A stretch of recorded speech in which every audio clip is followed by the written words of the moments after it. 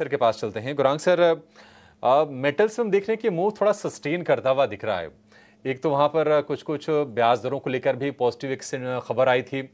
और देखिए, हमारे एक्सपर्ट्स की कॉल भी आ रही है। नालको को लेकर अभी शिवांगी ने अपनी राय दी है। हम देख रहे हैं कि हिंडालको टॉप गेनर है, डेढ़ परसेंट के आसपास की मजबूती के साथ। मेटल्स में आप ये मूव कितने सस्टेनेबल दिख रहे हैं? आपको क्या लग रहा है कि इस बार का मूव थोड़े अलग संकेत दे रहा है? और अगर किसी को पोजीशन लेना हो छह महीना, साल भर, वो भी कर सकते हैं? तो कुछ पाँच कंपनियाँ हैं जो मेरी विचार अगर मेरे मतलब याद शक्ति अगर सही है हमारी खरीदारी की सूची में, Tata steel, Hindalco, Vedanta JSW steel और जेएसपीएल।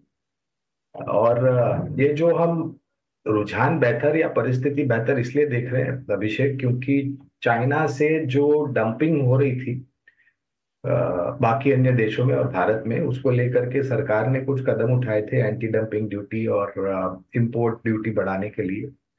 और प्रोत्साहन सरकार के तरफ़ से, स्थानीय धातु क्षेत्र से जुड़ी हुई जो कंपनियाँ हैं, उसको बहुत बड़े मायने पर मिल रहा है।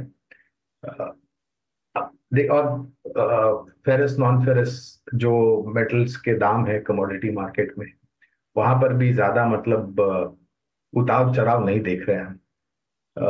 एक अंडर परफॉर्मिंग सेक्टर भी ये रहा है, अगर आप तुलना करें बाज़ार की या फिर बाकी अन्य क्षेत्रों की।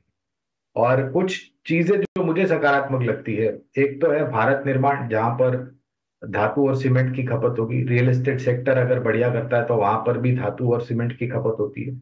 निजी क्षेत्र की कंपनियाँ अगर विस्तार योजनाएँ करती है तो वहाँ पर भी आपको धातु और सीमेंट की खपत होती नज़र आएगी। तो अच्छा लगता है, लेकिन ऐसा नहीं है कि आपको छोटी या मध्यम अवधि में बहुत बड़े ऊपर के तरफ़ के दायरे देखने मिलेंगे।